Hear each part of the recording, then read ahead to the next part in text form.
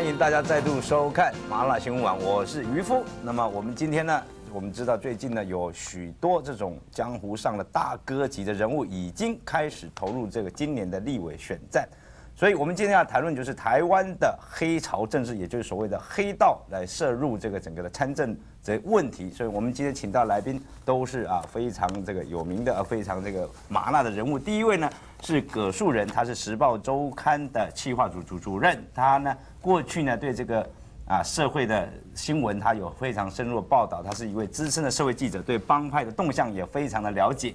那么第二位呢是蔡冠伦先生。那么蔡先生呢，我们知道呢，他现在目前是冠伦企业董事长。但是呢，我想很多人知道他跟四海帮的关系啊，非常这个密切。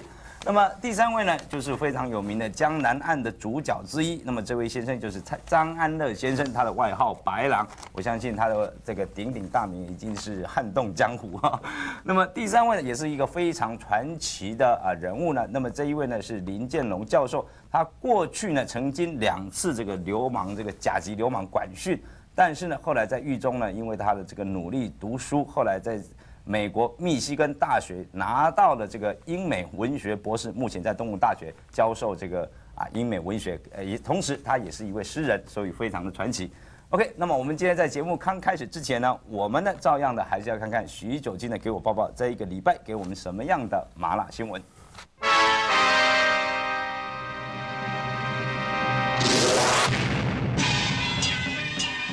观众大家好。呃，我是给我宝宝的徐九金，很高兴呢，又跟大家在这里见面。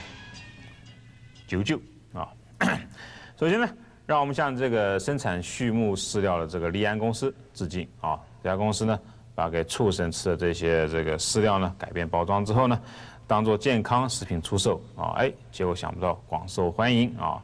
那这件新闻呢？这个新闻在台湾呢引起很大的震撼，把乱七八糟的东西呢包装成健康食品来来卖啊！这种理念呢，呃，其实跟给我包包是有点一样的。给我包包呢，呃，习惯把这个乱七八糟的新闻呢包装之后呢，当做精神食粮呢，在这里送给大家啊！所以呢，我们呃要在这里呢，向利安公司呢，以及负责呃以这个老鼠会方式直销那些饲料的这个保利安公司呢，呃。里面的这个相关人员致敬啊，呃，因为 我们都是同一国的啊。认识你真好，你知不知道？监察院长也是这个参选总统的热门人选陈履安呢，呃，前阵子终于和这个总统府执政林洋港见面啊，密谈了二十分钟，然后呢，呃，双方各自开了一个记者会。陈履安在记者会上表示呢，他建议林洋港。不要离开国民党啊，留在党内，以这个使命感的、道德感呢，来把国民党领到一个全新正确的方向。那陈履安自己离开国民党，却要呃林洋港留在国民党啊。一般相信他的这个灵感呢，来自他的这个儿子陈雨婷啊。陈雨婷三年之前呢，和另外七位出家人呢，一起在这个灵泉寺维觉法师座下呢，剃度出家，呃，法号呢是建安啊。可是前阵子呢，建安。他离开了这个灵泉啊，呃灵泉寺啊还俗啊，其他人呢则还是留在啊这个灵泉寺里面啊，大家一起为这个呃弘扬这个佛法呢那个努力啊。可见呢，不论是修行呢，或者是选举啊，总是有些人适合离开，有些人适合留下来啊，大家一起奋斗嘛啊，里内外合啊，这样才更容易成功。陈云会谈呢谈了二十分钟，这个陈履安除了劝林洋港留在国民党之外呢。他同时也劝徐九金啊留在麻辣新闻网，继续为提升台湾这个新闻品质而努力。徐九金，徐九金不是我吗？陈院长要我留在麻辣新闻网，那那是当然的事情了啊！我一定留在这个麻辣新闻网啊，我们为这个台湾的这个新闻呢。略尽绵薄之力啊！当然这样子呢，也不辜负这个陈院长跟这个林志正啊之间的这个陈林会谈啊！哎，哎呦，有是什么？是什么新闻呢？嘿嘿嘿嘿嘿，我就知道啊！不许动，这个是这个是我的东西啊！好，我们这边有个新闻快报，我们看一下啊。根据我们最新的这个消息呢。总统府执政那个林洋港表示呢，他竞选总统的决心还是没有改变。那另外，他跟这个陈履安合作的这个诚意呢，也还是没有改变啊。林先生这个爱心跟这个这个耐心呢，都是啊值得我们来学习的。第一届全国这个建筑会议呢，日前在台北市召开啊，李登辉总统跟连战院呃跟连战院长呢都出席了这个会议啊。国票弊案这个发生之前，哎，这个东西倒了是不是有什么象征？那个国票弊案才发生之前呢，才卖出两千万这个国票股票啊，准备买新房子的这个连战院长呢，在会场呢受到很多建筑师的欢迎啊，大家都想结识他啊，因为那个在建筑业这个不景气的时候，那如果能够啊拉拉关系啊，认识这个连院长啊，能够假如能够包包下他们这个新房子这个厕所啊，或厨房啊，或者卧室的这个改建工程呢。呃，相信对于经济都是自己的经济了啊，都是补小补的啊。哎，又来了，哎，不不必啊，谢谢，我就知道，哎，又又是一个又是一个新闻，又是一个新闻快报啊。最近最新的这个消息呢，国民党这个非主流派跟这个新党呢，对于撮合林呃这个陈履安跟林洋港这个搭档这个竞选的心意呢，呃还是没有改变啊。呃，这些人的爱心跟耐心呢，当然也是值得我们效法的。前阵子呢，陈履安院长指出，啊，一些支持他的这个企业界人士呢，遭到调查局人员的这个约谈，啊，这个指控呢，立刻引起了这个非常大的风波，啊，针对这个指控呢，调查局本部也马上啊发出指示，啊，要求所属人员签立切结书，啊，保证这个行政中立，啊，依法办案。给我报报。透过这个特殊的管道啊，搞到了一份这个切结书啊。有意思的是，这份切结书呢，跟给我包包内部的一份这个同仁之间借钱一定要还的切结书呢，长得还真的有点类似啊。现在，就让我们看看这两份切结书啊，看看。这一份呢是呃调查局啊，他行政中立这个依法办案的切结书啊。你这样签了之后呢？这个调查员都很高兴啊，因为 不必再去接一些呃不应该这个不应该接的这个案子啊。那这一份呢是给我报报啊，给我报报这个同仁之间借钱要还的切结书啊。你这样签了之后呢，看出来同仁之间好像都不太高兴啊。哎哎又哎哎哎哎又有一份，谁跟你说是新闻快报了？不要自作聪明好不好？OK，这个是一个。哦，这是一个这是一个通知啊，有有有谁在台北市新生南路啊？新生南路跟这个信义路口，呃，假如掉了一份这个呃，都掉了五十块钱现钞的话，呃，麻烦你这个在我节目完了之后呢，到我这里来认领啊，五十块钱现钞啊。呃，今天是中秋节啊，相信大家到现在为止呢，都已经吃了不少月饼啊。市面上的月饼呢，呃，这个种类很多啊。如果消费者呢一个不小心啊，就有可能买错月饼啊。给我爸爸今天就在节目的最后呢，呃，为大家介绍辨识月饼的一个非常非常重要的方法啊。我们都知道月饼里面呢都有包东西，如果你想知道自己买的月饼对不对啊？我想，呃，或者是合不合自己的口味呢，就要看这个月饼里面这个包的东西呢，到底是什么啊？例如说，呃，我我们来看啊，例如说这个月饼啊，看包什么东西啊？这个月饼哦，你看里面是有包东西啊。这个月饼里面包的东西，它上面写八月十五杀达子，OK，那你就可以知道说这个月饼呢。是元朝末年的这个月饼啊，就是说元朝末年，这味道你闻得出来啊，这个时代非常的久远了啊，这是个元朝末年的月饼啊。那我们再看看看有没有这一个，OK，我们再看看这一个，哦呦，你看又一个纸条掉出来了，这个纸条上面是说杀杀李登辉以谢国人，哼。这一定是我，我想应该是的啊。这个新同盟会的这个人开了月饼店做的月饼啊。不过如果你支持李登辉这个这几年来这个本土政策的话啊，我想吃这个月饼的话一定会拉肚子啊。我们再看几个月饼好不好？哎，这个月饼我们看切开来看看。哎呦，又是一个纸条啊。这个纸条上面写的六四屠杀，在血还。这一定是大陆进口的月饼啊！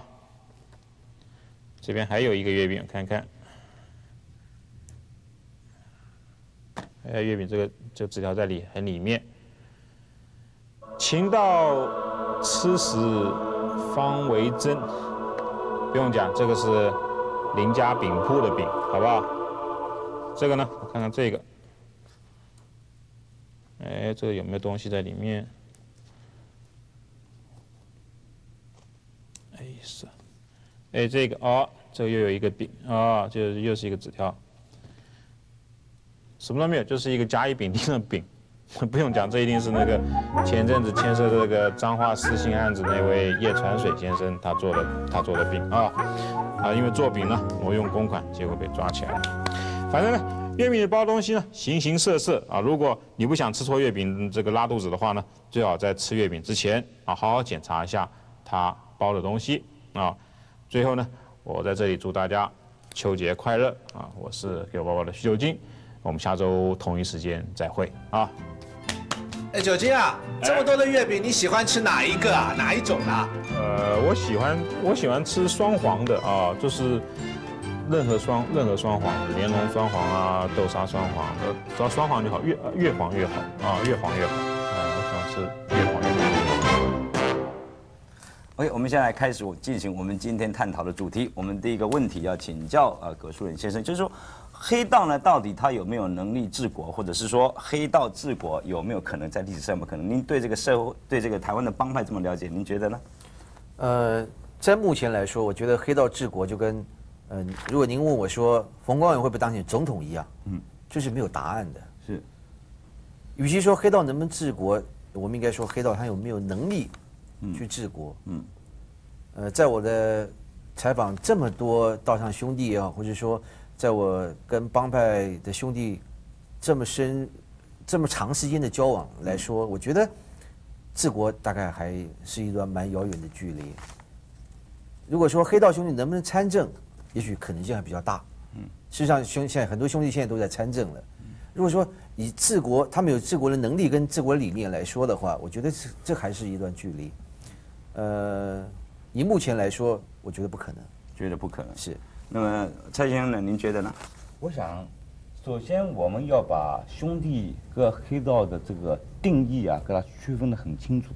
什么叫做兄弟？什么叫做黑道？嗯。而真正的一般黑道啊，那就是说见不得人的，比如说小偷啊、强盗啊这种呃强暴犯啊，甚至是这种妓女啊，这种我们才称之为黑道。那么兄弟，他不是一个不一个一个一个一个做为非作歹的事情。我举个例子，我们国民党的前身兴中会、同盟会也算是兄弟的一种啊。我们先总统蒋公他也是哦，那那时候也是青帮的一员，可是他治国可是治得好得很啊。他领导我们抗战啊、剿匪啊，对不对？在这个台湾这么大的建设啊。所以您像您的意思是说，青青帮洪门这个算不算黑道？他当然，假如说以帮派来算的话，他当然也是一个帮派了，对不对？他当当然是个帮派了，但是他是不是黑道？他绝对不是黑道，因为他们不会、不可能，他们从纵容他们的兄弟去偷窃啊、强盗啊，啊，甚至于做这种贩毒啊、这种为非作歹的事情啊。任何一个帮派都不可以从容他们的兄弟做这种事情。是，这是我们国内帮派跟国外帮派有最大的差别就在这里。是，国外的帮派他们就是像我们知道，像美国的或者是哥伦比亚的、日本的，他们以贩毒啊、什么色情啊这类为主。那我们国内的没有这种事情发生。是，但是你。您还没有讲到说黑道到底有没有能力来治国？我刚刚讲了，我们先总统蒋公他也算是在帮的，他也治过国啊，对不对？那能力治国就是说看一个人的能力。我们现在强调的是能力，能力是包括什么呢？他本身的学识啊，他的魄力啊，他领导的能力啊，这种综合性加起来才成才成为一个能力啊，而不是呃也包括他的品德在里面，是不是这样子？否则的话，你任何人都可以说我有能力，也可以说任何人都被人家否定掉。否则为什么会有那么多人出来竞争呢？那您的意思就等于说，如果把黑道改成这个兄弟的定义的话，等于就是说，像因为总统蒋公啊、国父啊、孙中山这个都是出身青帮红门。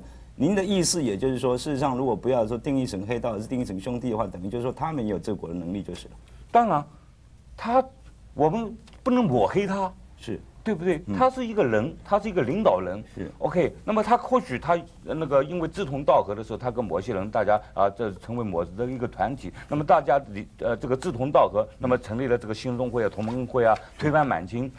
各位，在那个时候，满清时呃政府这个时候，这个呃同盟会、兴农会这种帮派要杀头的哦是，啊，那个是要杀头，那是罪大恶极的，不可要要杀九族的。所以您认为是有还是有治国的能力？当然不要是称它为黑道，而是一个帮派的话对，是我们我们不能因为黑道，我刚刚讲了，黑道就是什么像妓女啊、小偷啊，对不对？这种强盗啊，对不对？这种作奸犯科的，这种才是真正的黑道啊。那我们想，这个张先生，您长期在这个国外哈，那么您呢，以这个您观察这个美国黑社会的这种帮派等等，那么您认为像这种西方国家有没有这种黑道参政或者是治国的这种能力呢？哦，是这样子啊。民主政治的大前提是人脉跟经脉，谁有人脉，谁有经脉，谁就可以参政，谁就有这个，谁就谁就有当政的可能。不管他是什么出身。是美国的民主政治有两百多年历史了，是目前才成熟的。在二十世纪初期的时候，在十九世纪的时候，暴力、暗杀、贿赂、宫刑的，我们翻开美国历史就知道，英国国会的眼睛也是一样。那就像二十世纪初期的时候，这样讲了哈，像黑手党，嗯，当年他控制了民主党在纽约州跟麻省的选票、党代表票。我们知道二十世纪上最有名的美国总统叫富兰克林，他当年为了争取提名的时候啊，亲自去跟黑手党谈判，谈条件，黑手党把了纽约跟麻省的票给他，才能顺利的成了民主党候选人，才有资格连任了四任总统。所以呢，一个民主政治来讲，谁有人脉，谁有经脉，谁就可以参政。嗯，这跟黑不黑道是两回事。这第一，第二，刚刚您提到黑道的问题呢，就是说这个黑道究竟是什么东西，没有一个人下过定义。嗯，人云亦云。是。是的 OK，我想这个黑道呢，到底是什么东西呢？我们休息一会儿后，我们请白狼来帮我们解释。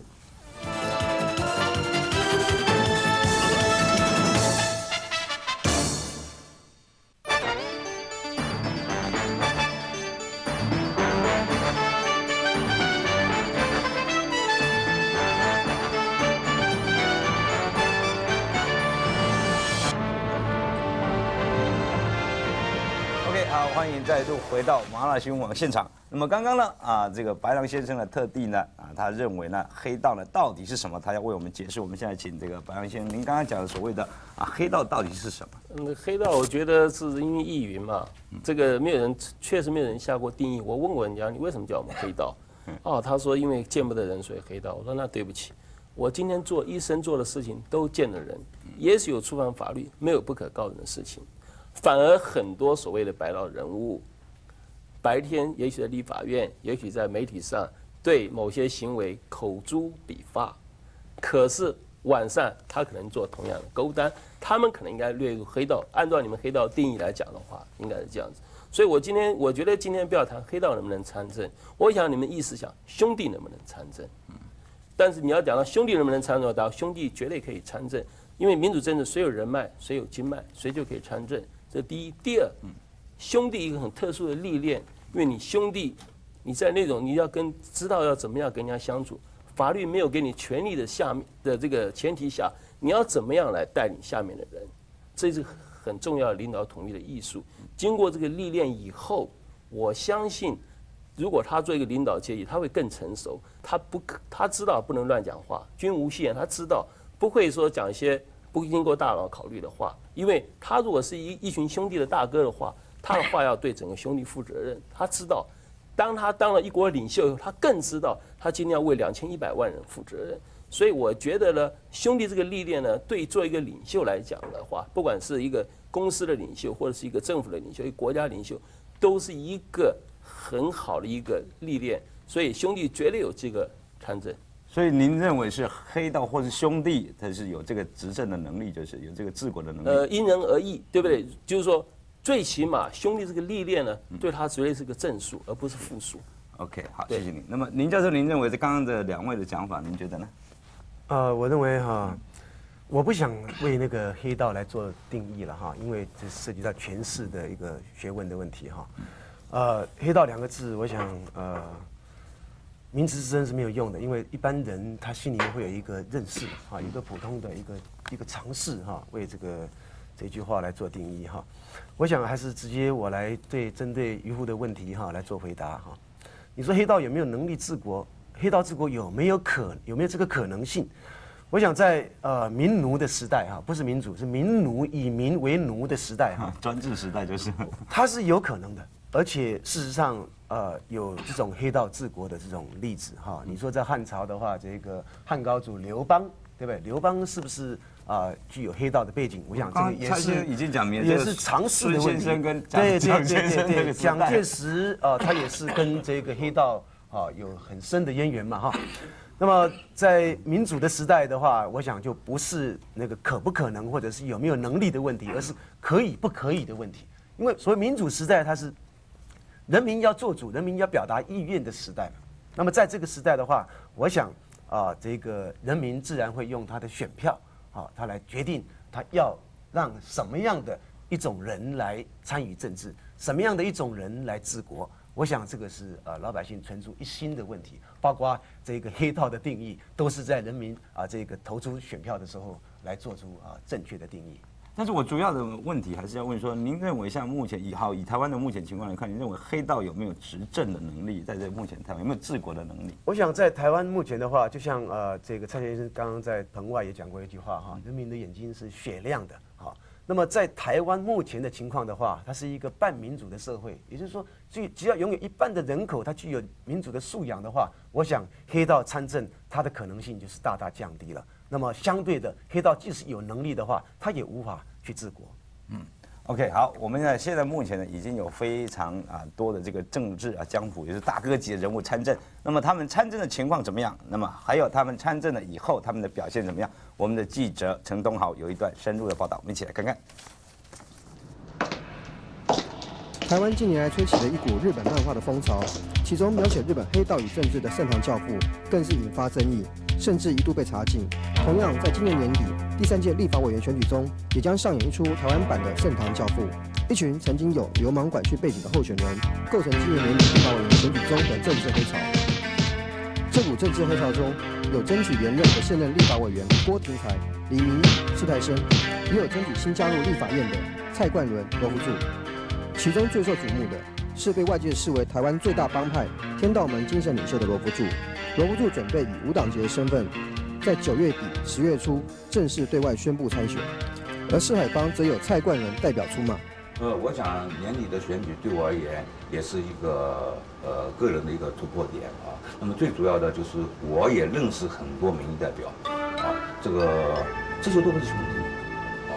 那么我认为他们的做法实在是比起我来，他们实在是呃呃不讲信用啊，不诚实啊啊呃的的 太太太多了啊。我认为他们嗯辜负了这么多选民对他们的这种期望。当然，一个人的过去并不能与他的现在与未来画上等号。可是，在过去三年中，具有黑色背景的立法委员始终是社会争论的焦点。就在七月中旬，立法委员林明义、黄昭辉之间的冲突，使得具有黑色背景的立法委员又再一次成为社会争论的焦点。OK 啊，我们呢刚刚已经看过了这个黑道参政的情况了，那么我们现在要来请教蔡先生，就是说。第二个问题就是有关这个黑道呢，他们很或者是说兄弟呢，他们去参政呢，是不是是不是只为了漂白他以前做过的一些前科呢？您觉得？呃，我想这个跟漂白毫无关系。嗯，呃，一个人他做过什么事，啊，都是大家都是有对他的不会做过的事情不会遗忘的。嗯，不管你今天做的是好事还是坏事，那么你今天能够从参政的话，能够去参加这种选举的话，你的定位也是由各各级选民来做用选票来决定你是否是否一个合适的人。嗯那么，假如说参政就可以漂白的话，我想这是不可能的。为什么？因为选民会否定你嘛。但是我们知道很多这种啊、比如说兄弟呢，他们本身有案子在身，但是他们经过了从政以后，当了立委，当了这个议员以后，他们就这个案子就一直悬在那边，就就没有办法去处理了。那是不是等于也就是把他们自己过去形象整个一直是给他一个漂白的工作？这是一个法律问题。比如说，立法院现在没有经过立法院的具体法院判刑的人啊，他就不能去呃执执行。比如说。呃，翁大明先生对不对？他判刑了三年多，他到现在还没去坐牢啊，是不是啊？那你说翁大明先生是黑道吗？他不是黑道啊，对不对？那是个人的问题啊，对不对？但是他能够当选的话，当然是有他的人脉了。但是我想跟这个漂白不漂白应该是毫无关系的。是哦，我做过什么事情，我是怎么定位？比如说我蔡某人好了，那么我跳到黄河去呃几十年，人家也认为我是四海的，是呃人家就不会想到我曾经是我在四海的历史只有很短短的一段时间，而我大部分时间在空军服务，但是人家就会想到我在四海的时间，而没想到我在空军服务的时候。是。那白良先生您觉得呢？我觉得做兄弟没有什么漂白不漂白的问题，他只要养不愧于天，虎不出于地，不需要漂白。兄弟是兄弟嘛，就像我刚才讲，为生做事都可以摊在台阳光上来讲，不需要漂白。而且所谓的漂白的方法很多，你去做生意，你说我跟你兄弟断了也是种漂白方法。我所谓的参政呢，因为人都有这种企图心嘛，因为他在兄弟的时候，如果他放了很多人情出去，他有他的人脉，他在地方有他的人脉，有他的经脉，他觉得他有这个条件参选。我相信任何人有这个条件参选，都会想出来参选，只要他这个企图心。这第一，第二，因为他在兄弟的这个这个过程中呢，他看到了很多不公平的事情。比方来讲，所谓的流氓管训条例，所谓的治安法法庭，都是违宪的。那他也知道，可能呢，只有他能够进入立法院这个殿堂，才可以改变这些不合理的事情。所以呢，所以这样讲呢，兄弟他来参选，他绝对的。就是跟漂白，就像刚才蔡先生讲的，是两回事。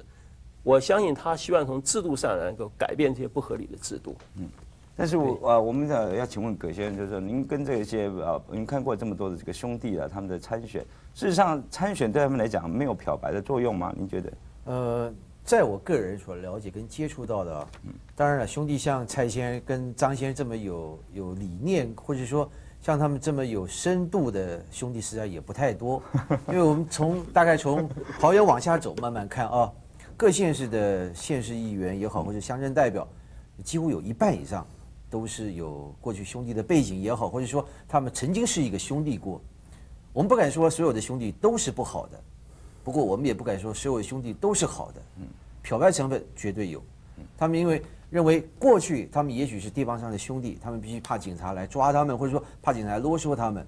不过有一天他披上了一个一个代议会一一一个民意代表身份以后，他就是在指挥警察的时候了。对，所以这个有漂白的作用在。另外一点，我我我想举个例子来看啊，我曾经跟一个县议员有过很长时间的接触，他是长时间是在地方上绝对有兄弟的背景在。他进入市县议会三年多，没有讲过一句话。有一天他就告诉我说：“哎，麻烦你帮我写个咨询稿。”我说：“为什么要写咨询稿？因为我说三年里面我不知道讲什么，每个人看到我就是给我鞠个躬，大哥你好，就这样子。”，所以他也他也觉得很困扰，说我根本不要不要发言，他只要当面一坐，人家就过来跟他鞠个躬，所有议员跟他鞠，大哥你好，就这样子。所以您刚才讲了一个重点，就是刚刚这个呃。提到这个说兄弟去指挥警察，我们所知道就是因为他当选了这个县议会代表以后，或者是各级议会代表以后，那么他就变成可以去指挥治安机关，那他当然就治治安机关当然就不会抓他，对他的漂白作用有非常大的帮助。您觉得这一点？我我我想是不应该用指挥两个字，用影响，是应该会有影响力，因为有很多这个警察机关地方上的的经费是掌控在地方议会里面，嗯，所以会有这种影响性。是，其实这个是不争的事实。是，那么刚刚蔡先生对这个啊葛先生的说法有点不反对。对，我的看法也不尽然。是，毕竟我们是一个法治的国家，你不能说你今天身为一个民意代表，然后你就目无法治、目无法公权力，对不对？哦，你可以胡作非为。我不相信这个社会上有这样的事实。是，哦，可以，也可以容许这种事情发生。哦，你今天不管是什么身份，只要你违反了法律，自然，对不对？会有人提出控诉。啊，那么就就就有警察来执行公权力。我们也看到啊，上次不知道好像屏东县的某一位民代啊，这个贩毒是不是？他也是被判刑判得很重啊。哦，那么屏东县另外一位议长，对不对？因为某些杀人啊，这个杀人，他也是被判得很重啊。那你不可能说哦，我今天是一个民代，我就可以胡作非为啊。正好相反，今天作为一个代表，作为一个民意代表的话，他更要建立自己好的形象。他更要努力的奋发向上，哦，来为民服务，这样子他才有机会继续在这个政治舞台上展现他的才能，否则的话他会被马上就会被淘汰。我我我想，我刚刚蔡先生大概有误会我的意思，我是我是觉得，不是说每一个人是经过这个过程来漂白，嗯，不过这是个不争的事实，曾经有人这样子过，事实上也有人在这样做，但是我们也可以看到说，有很多兄弟他是真的是有很很有心想为想为这个社会做一点事。哦，我想我们先生先贤都讲过要放下屠刀，不过如果说你放下这把是屠刀，拿着这把是武士刀的话，这意义在哪里？呃，我也是没没有说反对葛先生的意思啊。我认识很多明代，我不瞒各位说，他连解封信都写不出来啊！真的是他，我知道，根据我的我所了解他的教育水平，他连写一封信他写都写不出来。啊 OK 啊，我们呢有一个笑话呢，是说呢，我有一次跟一个国民党高层的人呢，就说为什么你们要提名这么多黑道？那么结果他怎么讲？他说我们用民主政治来提升黑道水准。那么到底有没有这回事？休息一会儿以后，我们请林建龙教授来为我们解析。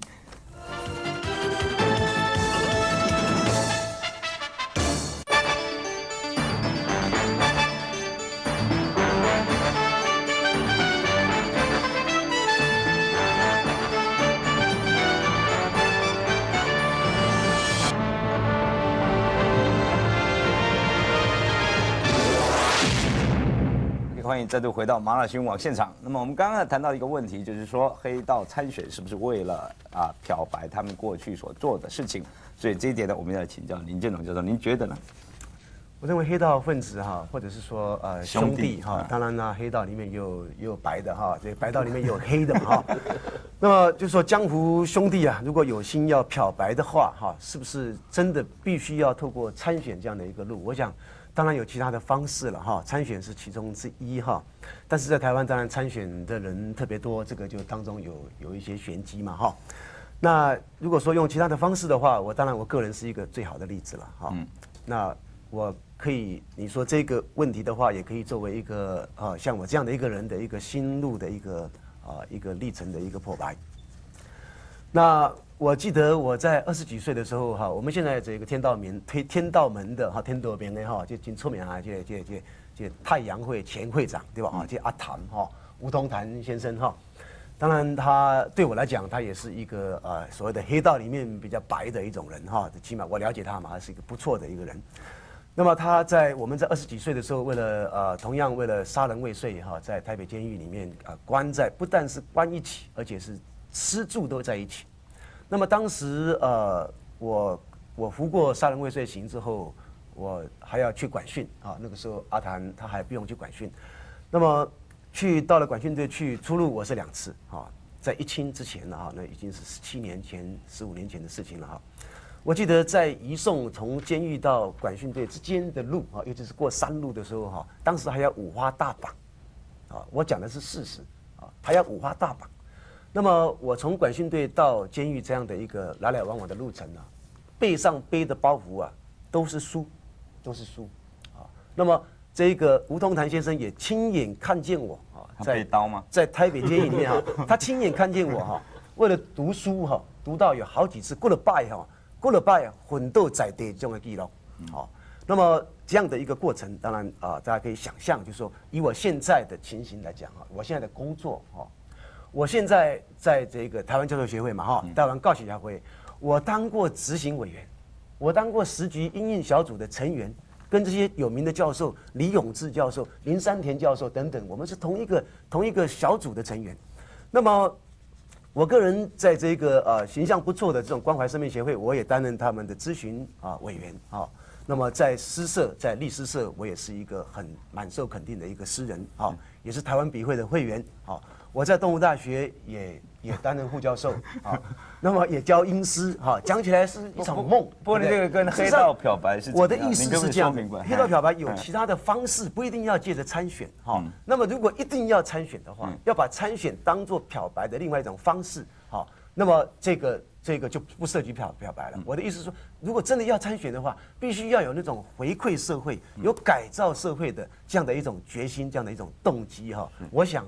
才来参选，否则的话，借着参选要逃避刑责，或者说借着参选要获得好处的话，这个不只是黑道，不只是什么黑道里面的，或者是江湖兄弟值得谴责。就算是你是一个教授，你是一个呃这个呃，或者是施明德啊，或者是这个谢长廷，如果他报的动机是这样子的话，都是值得谴责的嘛。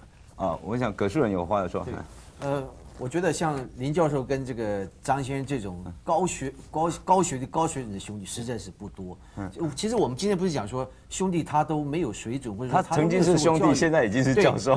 对我们不，我们不敢说，不敢说这样把兄所有兄弟归类成他们没有受过教育，或者说他们漂白方式用什么方式？不过我们可以看得出来，就是你参加这个明代的选举，你可以名利双收的成分很大。嗯，因为你既然有权，你还有钱，这是一个很大的诱因。对很多兄弟来说，这会是一个很大的诱因。我想，像像林教授他这种兄弟实在是非常的少啊。当然，让我们很感动，也让我们很敬佩。不不过蔡先生，我们讲您要在台北市也是也是准备要参选嘛哈？那您您您是不是您的可不可以说明一下您的为什么您会要去参选？是不是要？我先不谈我个人的参选问题，我先要谈谈兄弟参选的问题。嗯，OK，兄弟他们从小啊，现在的兄弟啊是弱势的一群，各位一定要了解。哦，从小在这个家里面啊被父亲母亲责责备啊，小时候打个橡皮筋也要挨打，结果不看到爸爸跟妈妈啊跟老师一起打麻将。啊，在学校里面也要被老师打，然后老师到家里跟跟爸爸妈妈一起打麻将，是不是这样？哦，那么被师长啊长辈们看不起，哎呀，这个小孩子长大了一定一定没有出息，那么造成他心里面一种自卑感。那么当当他长大成人以后，他自然有一种心态，就是说我要往上走，往上走怎么办？我要出人头地。怎么出人头地？我来选一个选一个怎么样的名字？可是可是不是只有参选啊？你也可以说做生意啊，你可以正正当当做生意，不一定要参选啊。做生意当然也是一个一个方向，也是一个一个一个一个一个目标哦。但是您要知道，这个做生意毕竟你说有几个王永庆啊？是不是能够名闻全国？恐怕是不大好的很啊，呃，不大容易的很啊，是不是啊？不过您这样讲是不是等于就已经承认了葛树人刚刚讲的，就是说他会经过从政以后，他就会得到很多的名跟利跟。啊，这跟不是名利方面，而是他他要向向他所有的亲朋好友来证明，我不是你们小时候所看的那种看不起的人，我会好好的努力啊，来力争上游，来出人头地。但这是一个心态的问题。这是我们现在看看到林教授，他本身是他虽然过去曾经被管训，但是他自己也是努力的练到这个博士，这样是不是这种管道也可以？是不是一定要从政？所以我们林教授现在就得到所有他的亲友的肯定啦。是不是？那他假如再出来参选成功的话，他就更得更得到社会大众的肯定了。那么他以前管训的时候，一定有人看不起他。哎，你看这个这个这个林教授恐怕没出息的很啊，现在在坐牢在管训啊，是不是这样讲他啊？对不对？那么我当然每一个人都要自把自己的自尊心寻找回来啊，对不对？我们的自尊在哪里？那么我个人为什么要参选？现在要谈到，我也认识太多的民意代表了哦，不管中央级的或者地方级的。那么我觉得在。立法院我不知道他们的表现怎么样，当在私下的时候，他们跟我一起，呃，怎么样呃谈聊天，或者我了解他们的行为，跟他们比，我觉得我是圣人啊。我真的觉得我是圣人啊！我真的比他们强太多了啊！因为他们是口是心非，而我们一般人所谓的兄弟，就是说没有诚信问题 啊。我们心口如一，我们说哎，我们说得到，我们就做得出来。因为我们举个例子，最近这个计程车事件，对不对？我们那个那个首长啊，县长、县长是不是出来出来摆三次啊？对不对？都没有没有办法摆平嘛。那最后我们这个将他们讲道理，那我们讲的道理很简单，就是说你们再打下去，你们没有赢家。今天你砸他三部车子，他砸你五部车子，表面上你砸了他三五部车子，你赢了，但是你自己还是要修三部车子啊，是不是这样子啊？没有赢家，都是输家。所以我们跟他讲这种道理，哎，他们觉得相加蛮有道理的，对不对？毕竟没有什么深仇大恨吧，那么大家就和解了。谢谢。那八先生你觉得呢？呃，就讲到哈，明代这个东西哈，它是一种特权，我想人人呢因人而异，很多人利用这个明代特权呢、滥权呢的人呢，很多都不是兄弟出身。那我们不必须点名的啦，因为这是个制度问题。为什么今天明代这个特权？这是个制度问题，跟兄弟参不参选是两回事。利用这个特权呢，假公济私人太多太多，很多可能是学者出身，可能是博士出身。那我们再讲到立法院的暴力好了，谁带头打的？不是兄弟啊，带头都是博士级的啦，对不对？所以说呢，就只有他们知道在立法院打架稳赢不输。第一，他可以出名。第二，警察不敢抓他们；第三，对方不敢找他们，所以这是立法院打架是个懦夫集团在打架，而不是兄弟在里面打架。所以今天立法院的暴力呢，跟兄弟是无关的，但发动也不是兄弟。所以呢，我不觉得呢，我们可以把兄弟的参政权给剥夺了。哦，他打过架，他杀过人，刑法已经判了他的刑了。他杀人说不定是为了某种原因去杀人，说不定我今天跟你走在路上，啊，看到人家来打你。我一气之下说要救你，拿把菜刀去砍了两刀，我去坐牢了。这个事情叫把我的参政权给剥夺了吗？我觉得很不公平。就法律已经处罚我了，就是说我不觉得一个人混了兄弟而需要把他的参政权剥夺，除非这个人做了一个很不道德的事情，比如说叛国啦等等啦，法有明文规定的，这可以把参政权剥夺。不然只要他有他人脉，他有他的经脉，只要老百姓肯定他，他就有参政的权利。所谓刚刚葛先讲，很多不学无术的人，那不见得是兄弟呀。这是我们台湾的民主在发端的阶段，一定的必然的阶段。看美国、英国都有这个过程。等到名字开了以后，就不可能有些不学无术人在殿堂上了。这跟兄弟参不参选是两回事。这是我的看法。不过我们所知道，就是全台湾的这种，我们也可以看得到很多这种，像我想葛树也非常了解，就是全台湾有很多这种，比如说本来是一个地方上一个熟辣，但是他上去了当了议员以后，或者当了民意代表以后，他反而事业越做越大了，反而变成是很大的这个所谓的道上的这种大哥级的。那像这种现象也会有吧？这是制度问题嘛？我想苏拉，我想苏拉他就不可能成为一个代对一个代表啊，很难是不是这样子啊？你真的一个苏拉他不可能成为代表，成为一个民意代表啊。有可能啊，这是一个制度问题了。我想这个黑黑道对嗨黑道参政啊，这个是不是漂白的问题啊？就我想还是回到我刚刚讲的强调的那句话了哈。你今天如果说是兄弟出来参政的话哈，他往往他必须要打出这个回头浪子牌，弄得非常累啊。比起那些弟兄啊，不是兄弟而是弟兄，自认为白道的那些人呐、他就不必讲这些东西。他就像白狼在讲的，他只要有经脉、有人脉，他就可以参选，而且可以当选。那么事实上，参选的条件不只是有经脉、有人脉。像我的话，我没有经脉，也没有人脉，怎么办？对不对？那么，但是老百姓的眼睛是雪亮的。像回答蔡先生刚刚讲那个那个话，而且我自己也强调哈，台湾已经是一个半民主的一个社会，起码有一半的人口他会发挥他的智慧。那么这就提供了，不管是弟兄或者是兄弟，是黑的，是白的，好，是江湖的或江湖外的都一样。只要你刚刚回到我刚刚讲的那一个标准，你有那个回馈社会，有那个改造社会的的一个决心，而且你具有那样的一个能力，哈，具有这一个所谓的你如果是一个黑道一个兄弟的话，你有一个能够为人所接受的这样的一个一个一个具体的一个回馈社会的一个事实，哈，或者一个具体的一个要改造社会的一个可以被人家认定的一个决心，有这样的一个奋斗的过程的话，我想什么道都是一样。不过我们看的就是说，不管是立法院或是地方议会的，事实上有很多这种兄弟参选以后，有一些真的是恶行恶状，这些事情我们等一下休息一会儿以后，我们要来咨询各位。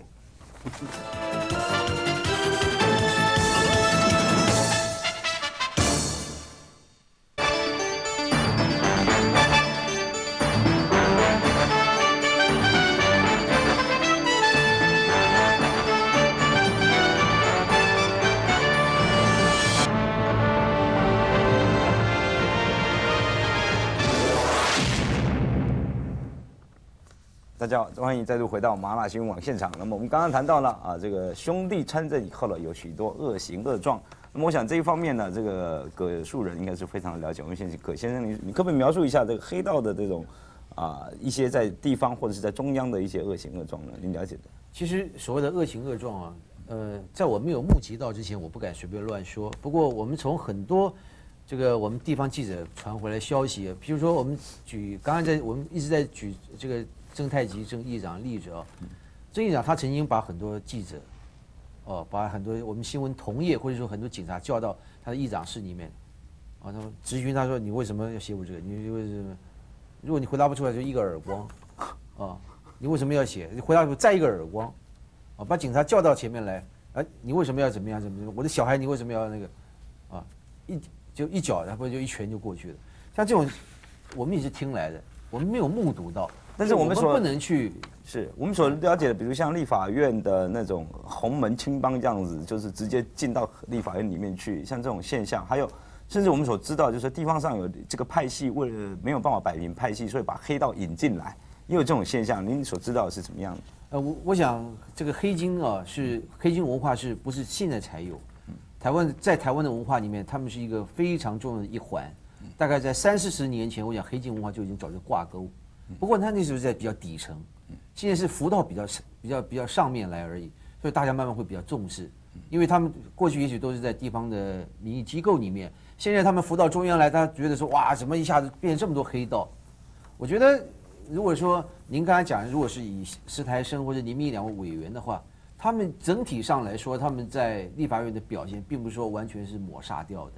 而且你也不能说，因为他们曾经在立法院打过架，我想这地方打架的国民党籍立立委跟民进党籍立委应该比他他们两个立委还要来的多吧？但是，但是现在我们就说好，我们现在有一个问题就是说，因为啊有这些不管不要管中央，但是地方上事实上有这些事情，你也认为说黑金这个是早就有挂钩了。那么您认为黑道是不是可以参选，或是黑道呢？它有没有必要限制这个黑道整个的参选？我觉得在限制方面来说，其实选举就是数人头，应该是由民众、由人民来淘汰他们，这个是应该是比较公平的。你我不知道这黑道的定义在哪里，你要怎么样定义它？是不是警察机关公布一个？哎呀，所有大概一公布出来，大概台湾要要公布个两百个黑道，或者公布个两两百万个黑道，或者说三百万个黑道，或者说五百万个黑道。因为你现在你要先把黑道的定义给理出理清楚。但是我们现在立法院有一个条款的限制，就是曾经犯过一些什么杀人罪什么等等这些案子不能参选。像这种限制条款，你觉得怎么样？我觉得这是落日条款啊，因为像这种条款对真正真正的黑道，我们应该应该这么说，有很多躲在幕后的大哥，或者说一些幕后的凶一些黑手，那些人你永远抓不到他把柄的时候，他如果要参选，而且他是稳当选的，你要不要让他参选？这个问题应该是比较大一点，嗯，因为有很多真的是躲在幕后的一些教父级的，在台面上也许我们不知道他，可是他是在整个指挥整个地方角头，或者说一些犯罪一些一些犯罪的团体，他们在真正在犯罪的是这个人，那你要怎么限制他？是，好，那蔡先生你觉得呢？我觉得宪法有失于每一个人参选和被选举的和个这个这个选举的权利。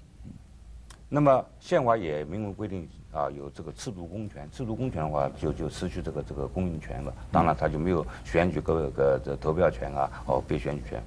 那么假如定这个什么什么权利不权利的的话啊条例的话，是不是跟我们的宪法有抵触？是不是我们也应该请大大法官来实现一下啊？另外第二点就是刚刚我们葛先生讲的，一个人他是不是黑道，应该由大家人头来决定，选民们大家都大家来决定这个人他是否有资格作为他们选民的代表。所以您不认为说立法院应该要这个立法来限制他的参选？我们现在都知道，立法院是怎么样的一个真正的一个强势作为的一个机构，他所能够通过的条例，并不代表所有的立法委员都支持这个条例，有的时候是个强制通过的。这个强制通过是不是真正的民意？那我们要再斟酌一下了。是啊，谢谢。那白浪先生你觉得？对，我刚刚已经讲过了。嗯，我不认为说一个人做过兄弟的话，他的那个参政权就必须被剥夺，除非他犯了些什么重大的，譬如说叛乱啊等等啊，我们可以列举出来哪几种罪，你不名誉的罪，譬如说恶性诈欺啦，这种人你可以认为他不适合参选，而他跟他做不做兄弟是两回事。就是我们可以列举几件重要的案子，比方来讲说叛乱啦。比如说勾结外国啦等等啦，这种人可能他就失去公信力了。可能我们可以列举这些来限制人参政的权利，而不认为一个人当当过兄弟而必须被限制。就像我刚刚讲过，兄弟本身说不定很好历练，因为他必须怎么样在里面学跟人家相处，怎么样做事合乎义。因为在里面没有一个法律的规范之下，完全用一个义来规范之间的行为，然后领导统一，你怎么样有包容心等等呢，都是一个做领袖必须的一个条件。所以我认为呢，不需要去限制他。至于所谓限，所谓很多，就像讲的，可能水准比较低的人会当选的话，那是一个我们民主政治必须付的代价。我们是初步的阶段嘛，英国、美国都经过几百年的这个历练嘛，所以呢，只要我们名字开了以后，那些问题自然会淘汰了。就还是回到讲的，让选民来决定。但是我们有一个问题，还是要请教这个张先生，因为你参加国外，就是像哥伦比亚这种哦，他那种黑手党啊，这个这个黑道啊，已经参政的非常严重，造成整个国家，比如像司法官的被被杀害啊等等，像这样子的情况会不会发生在台湾这种地方呢？如果我们不去限制黑道参选的话，我想这个问题在基本上在台湾不可能发生，因为台湾所有的兄弟啊、帮派啊，他们最这个反对的就是这个毒品，最反对的就是毒品。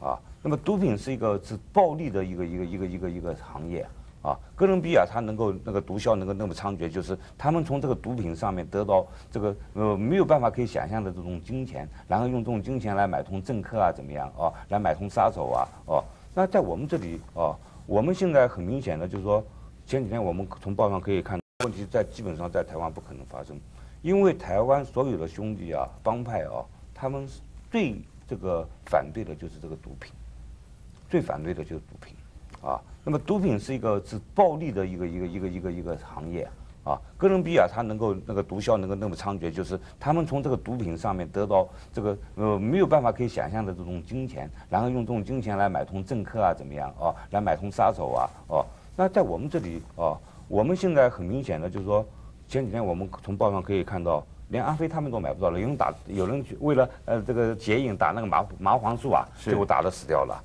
啊，所以我们戒毒应该是蛮成功的。那班长你觉得呢？我想这个文化不一样，因为拉丁美洲国家呢，他们拉哥伦比亚经济已经完全破产了，这个毒品呢是他们平常讲是他们经济的主脉，他们全国一半人口呢都跟这个呃 cocaine 有关系，所以呢，他已经不是变成黑道，变成利益团体了。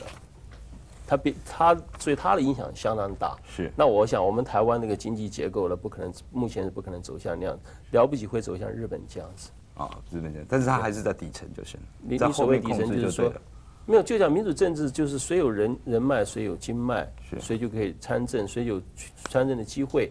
那这牵涉一个问题啊，对不起，我打个岔哈，就是说，因为东方社会的他们兄弟之间比较讲伦理。